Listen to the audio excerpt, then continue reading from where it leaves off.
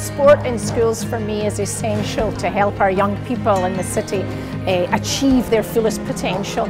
In Glasgow, we have a huge number of children and young people who live in the most deprived postcodes. So we use sport across the city to drive up standards. It raises expectations for children and young people. It gives them employability skills. But more than anything else, it's giving our children confidence and resilience. And it's that confidence and resilience that's going to make them be successful in their future life.